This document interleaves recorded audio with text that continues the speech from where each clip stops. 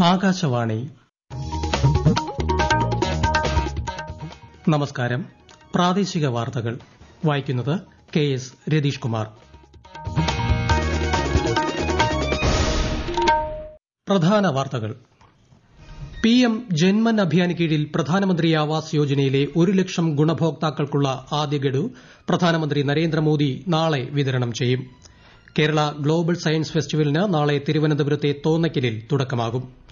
ശബരിമലയിൽ മകരവിളക്കുത്സവത്തിന് എല്ലാ ഒരുക്കങ്ങളും പൂർത്തിയായതായി ദേവസ്വം ബോർഡ് പ്രസിഡന്റ്.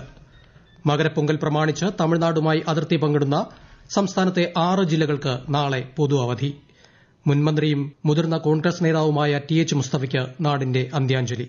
സംസ്കാരം ഇന്ന് രാത്രി ആലുവയിൽ. ഇന്ത്യ അഫ്ഗാനിസ്ഥാൻ ട്വന്റി ട്വന്റി പരമ്പരയിലെ രണ്ടാം മത്സരം അല്പസമയത്തിനകം ഇൻഡോറിൽ. വാർത്തകൾ വിശദമായി. പ്രധാനമന്ത്രി ജൻജാതി ആദിവാസി ന്യായ് മഹാ അഭിയാന് കീഴിൽ പ്രധാനമന്ത്രി ആവാസ് യോജനയിലെ ഒരു ലക്ഷം ഗുണഭോക്താക്കൾക്കുള്ള ആദ്യ ഗഡു പ്രധാനമന്ത്രി നരേന്ദ്രമോദി നാളെ വിതരണം ചെയ്യും. വീഡിയോ കോൺഫറൻസിംഗിലൂടെ നടക്കുന്ന പരിപാടിയിൽ പിഎം ജൻമൻ അഭിയാന്റെ ഗുണഭോക്താക്കളുമായും അദ്ദേഹം സംവദിക്കും. ദുർബലരായ ആദിവാസി വിഭാഗങ്ങളുടെ സാമൂഹിക സാമ്പത്തിക ക്ഷേമത്തിനായി കഴിഞ്ഞ വർഷം നവംബറിലാണ് പദ്ധതിക്ക് തുടക്കം കുറിച്ചത്. കേന്ദ്രമന്ത്രി ഡോക്ടർ എൽ മുരുകന്റെ ഡൽഹിയിലെ വസതിയിൽ സംഘടിപ്പിച്ച പൊങ്കൽ ആഘോഷത്തിൽ പ്രധാനമന്ത്രി നരേന്ദ്രമോദി പങ്കെടുത്തു. ഏക് ഭാരത് ശ്രേഷ്ഠ ഭാരത് എന്ന സങ്കല്പമാണ് പൊങ്കൽ ആഘോഷത്തിൽ പ്രതിഫലിക്കുന്നതെന്ന് പ്രധാനമന്ത്രി പറഞ്ഞു. തമിഴ്നാടിന്റെ പാരമ്പര്യ വസ്ത്രം അണിഞ്ഞ് ചടങ്ങിനെത്തിയ പ്രധാനമന്ത്രി രാജ്യത്തെ എല്ലാ ജനങ്ങൾക്കും പൊങ്കൽ ആശംസകൾ നേർന്നു.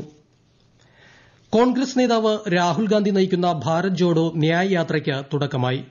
മണിപ്പൂരിൽ നിന്നാരംഭിച്ച യാത്ര കോൺഗ്രസ് അധ്യക്ഷൻ മല്ലികാർജുൻ ഖാർഗെ ഫ്ളാഗ് ഓഫ് ചെയ്തു.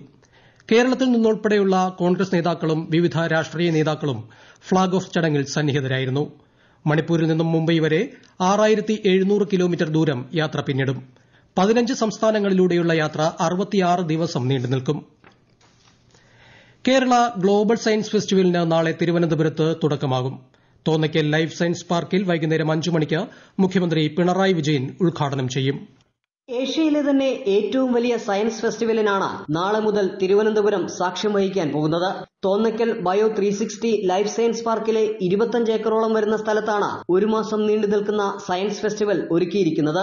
സംസ്ഥാന ശാസ്ത്ര സാങ്കേതിക പരിസ്ഥിതി കൌൺസിലും അമ്യൂസിയം ആർട്ട് സയൻസും ചേർന്നാണ് ഗ്ലോബൽ സയൻസ് ഫെസ്റ്റിവൽ സംഘടിപ്പിക്കുന്നത്.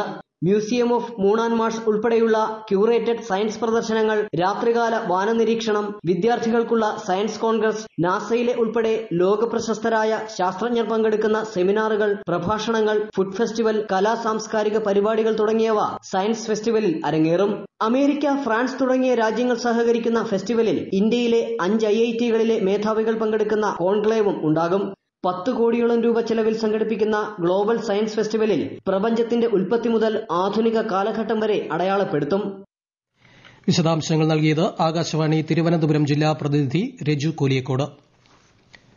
മകരവിളക്ക് ഉത്സവത്തിനായി ശബരിമലയിൽ എല്ലാ ഒരുക്കങ്ങളും പൂർത്തിയായതായി Devaswom board president P S Prashanth. Makarajyothi ദർശനത്തിനായി സജ്ജീകരിച്ചിട്ടുള്ള പത്ത് പോയിന്റുകളിലും ഭക്ഷണം ഉൾപ്പെടെയുള്ള സൌകര്യങ്ങൾ ഒരുക്കിയിട്ടുണ്ട്. നാളെ പുലർച്ചെ രണ്ട് പതിനഞ്ചിന് നട തുറക്കും. രണ്ട് നാൽപ്പത്തിയാറിനാണ് മകരസംക്രമ പൂജ വൈകിട്ട് അഞ്ച് മുപ്പതോടെ തിരുവാഭരണ ഘോഷയാത്ര സന്നിധാനത്ത് എത്തിച്ചേരും. തുടർന്ന് തിരുവാഭരണം ചാർത്തിയുള്ള ദർശനത്തിന് ശേഷം മകരജ്യോതി ദൃശ്യമാകും. മറ്റന്നാൾ അൻപതിനായിരം പേർക്ക് വെർച്വൽ ക്യൂ വഴി ദർശനത്തിന് സൌകര്യമൊരുക്കിയിട്ടുണ്ടെന്നും ദേവസ്വം ബോർഡ് പ്രസിഡന്റ് അറിയിച്ചു. തിരുവാഭരണവും വഹിച്ചുകൊണ്ടുള്ള ഘോഷയാത്ര ഇന്ന് ഉച്ചകഴിഞ്ഞ് പെരുന്നാട് ശാസ്താക്ഷേത്രത്തിലെത്തി. രാത്രി ലാഹ ഫോറസ്റ്റ് ഡിവിഷനിൽ വിശ്രമിക്കുന്ന സംഘം പരമ്പരാഗത കാനന പാതയിലൂടെ പുലർച്ചെ യാത്ര തുടരും. മകരവിളക്കിനെത്തുന്ന ഭക്തരുടെ സൌകര്യാർത്ഥം രണ്ട് പ്രത്യേക ട്രെയിനുകൾ സർവീസ് നടത്തുമെന്ന് റെയിൽവേ അറിയിച്ചു. കൊല്ലം ചെന്നൈ എഗ്മൂർ കൊല്ലം ശബരി സ്പെഷ്യലുകളാണ് സർവീസ് നടത്തുക. മറ്റന്നാൾ കൊല്ലത്തു നിന്നും പുലർച്ചെ മൂന്ന് മണിക്ക് ട്രെയിൻ പുറപ്പെടും. ഈ വർഷത്തെ ഹരിവരാസനം പുരസ്കാരം നാളെ സന്നിധാനത്ത് നടക്കുന്ന ചടങ്ങിൽ തമിഴ് പിന്നണി ഗായകൻ പി കെ വീരമണിദാസന് സമർപ്പിക്കും. ദേവസ്വം മന്ത്രി കെ രാധാകൃഷ്ണൻ പുരസ്കാരം സമ്മാനിക്കും. ഒരു ലക്ഷം രൂപയും പ്രശസ്തിപത്രവും അടങ്ങുന്നതാണ് അവാർഡ്. മകരപ്പൊങ്കൽ പ്രമാണിച്ച് സംസ്ഥാനത്തെ ആറ് ജില്ലകൾക്ക് നാളെ പൊതു അവധി തമിഴ്നാടുമായി അതിർത്തി പങ്കിടുന്ന തിരുവനന്തപുരം കൊല്ലം പത്തനംതിട്ട ഇടുക്കി പാലക്കാട് വയനാട് ജില്ലകൾക്കാണ് അവധി. പ്രധാനമന്ത്രി നരേന്ദ്രമോദിയുടെ ഗുരുവായൂർ ക്ഷേത്ര സന്ദർശനത്തോടനുബന്ധിച്ച് ജില്ലാ കളക്ടറുടെ നേതൃത്വത്തിൽ ഉന്നതതല യോഗം ചേർന്നു. പ്രധാനമന്ത്രി എത്തുന്ന ബുധനാഴ്ച രാവിലെ ആറ് മണി മുതൽ ഒൻപത് മണിവരെ ക്ഷേത്രത്തിൽ ഭക്തർക്ക് നിയന്ത്രണം ഏർപ്പെടുത്തിയിട്ടുണ്ട്. ഈ സമയത്ത് ചോറൂണ് തുലാഭാരം എന്നീ വഴിപാടുകൾ അനുവദിക്കുന്നതല്ല.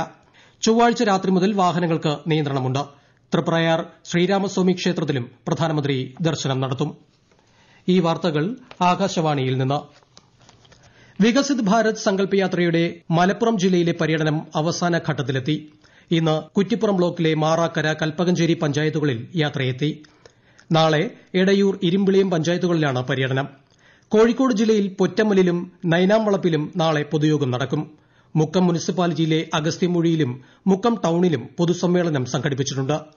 തിരുവനന്തപുരത്ത് നാളെ നഗരമേഖലയായ ആറ്റുകാൽ കിള്ളിപ്പാലം എന്നിവിടങ്ങളിൽ വികസിത് ഭാരത് സങ്കല്പ് യാത്ര പര്യടനം നടത്തും. കൊല്ലം ജില്ലയിലെ വികസിത് ഭാരത് സങ്കല്പ് യാത്രയ്ക്കിടെ പ്രധാനമന്ത്രി ഉജ്ജ്വല യോജന പദ്ധതി പ്രകാരം സൌജന്യ ഗ്യാസ് കണക്ഷൻ കിട്ടിയ വീട്ടമ്മ തന്റെ സന്തോഷം പങ്കുവയ്ക്കുന്നു. എന്റെ പേര് അംബുജ. പത്തിരുപത്തേഴ് വർഷം കൊണ്ട് ഗ്യാസൊന്നും ഇല്ലായിരുന്നു ഇപ്പം കിട്ടിയത്. ഭയങ്കര സന്തോഷം. ഭയങ്കര നന്ദി. കൂടുതൽ തീയരിക്കാൻ വിറവ് പണയിലൊക്കെ പോയി കൊച്ചുങ്ങളൊക്കെ പറയിക്കൊണ്ട് തരും അങ്ങനെ തീ വിറവ് വെച്ചാണ് തീയരിക്കുന്നത് ഭയങ്കര ബുദ്ധിമുട്ടൊക്കെ ഉണ്ടായിരുന്നു. അപ്പം ഭയങ്കര സന്തോഷം. മുൻ മന്ത്രിയും മുതിർന്ന കോൺഗ്രസ് നേതാവുമായിരുന്ന ടി എച്ച് മുസ്തഫയ്ക്ക് നാടിന്റെ അന്ത്യാഞ്ജലി. ഖബറടക്കം ഇന്ന് രാത്രി എട്ട് മണിക്ക് ആലുവ മാറമ്പള്ളി ജുമാ മസ്ജിദിൽ നടക്കും. കൊച്ചിയിലെ സ്വകാര്യ ആശുപത്രിയിൽ ഇന്ന് രാവിലെയായിരുന്നു അന്ത്യം. ഭക്ഷ്യ സിവിൽ സപ്ലൈസ് മന്ത്രിയായിരുന്ന അദ്ദേഹം K P C C vice പ്രസിഡന്റായും പതിനാല് വർഷത്തോളം കോൺഗ്രസ് എറണാകുളം ജില്ലാ കമ്മിറ്റി അധ്യക്ഷനായും സേവനമനുഷ്ഠിച്ചിട്ടുണ്ട്.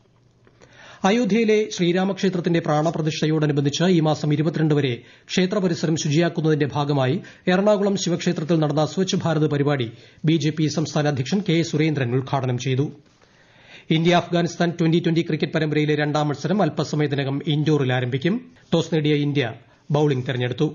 മുപ്പത്തിയൊൻപതാമത് സംസ്ഥാന ടെക്നിക്കൽ ഹൈസ്കൂൾ കായികമേളയ്ക്ക് തിരുവനന്തപുരത്ത് സമാപനമായി. വൈകുന്നേരം യൂണിവേഴ്സിറ്റി സ്റ്റേഡിയത്തിൽ നടന്ന സമാപന സമ്മേളനം മന്ത്രി ജി ആർ അനിൽ ഉദ്ഘാടനം ചെയ്തു. രണ്ട് ദിവസം നീണ്ടുനിന്ന കായികമേളയിൽ Palakkad government technical high school പോയിന്റോടെ overall കിരീടം ചൂടി. പ്രധാന വാർത്തകൾ വീണ്ടും. പി എം ജന്മൻ അഭിയാന് കീഴിൽ പ്രധാനമന്ത്രി ആവാസ് യോജനയിലെ ഒരു ലക്ഷം ഗുണഭോക്താക്കൾക്കുള്ള ആദ്യ ഗഡു പ്രധാനമന്ത്രി നരേന്ദ്രമോദി നാളെ വിതരണം ചെയ്യും. കേരള ഗ്ലോബൽ സയൻസ് ഫെസ്റ്റിവലിന് നാളെ തിരുവനന്തപുരത്തെ തോന്നയ്ക്കലിൽ തുടക്കമാകും. ശബരിമലയിൽ മകരവിളക്കുത്സവത്തിന് എല്ലാ ഒരുക്കങ്ങളും പൂർത്തിയായതായി ദേവസ്വം ബോർഡ് പ്രസിഡന്റ്. മകരപ്പൊങ്കൽ പ്രമാണിച്ച് തമിഴ്നാടുമായി അതിർത്തി പങ്കിടുന്ന സംസ്ഥാനത്തെ ആറ് ജില്ലകൾക്ക് നാളെ പൊതു അവധി മുൻമന്ത്രിയും മുതിർന്ന കോൺഗ്രസ് നേതാവുമായ ടി എച്ച് മുസ്തഫയ്ക്ക് നാടിന്റെ അന്ത്യാഞ്ജലി. സംസ്കാരം ഇന്ന് രാത്രി ആലുവയിൽ. ഇന്ത്യ അഫ്ഗാനിസ്ഥാൻ ട്വന്റി ട്വന്റി പരമ്പരയിലെ രണ്ടാം മത്സരം അല്പസമയത്തിനകം ഇൻഡോറിൽ. പ്രാദേശിക വാർത്തകൾ കഴിഞ്ഞു. അടുത്ത വാർത്താ പ്രക്ഷേപണം ഏഴ് ഇരുപത്തിയഞ്ചിന്.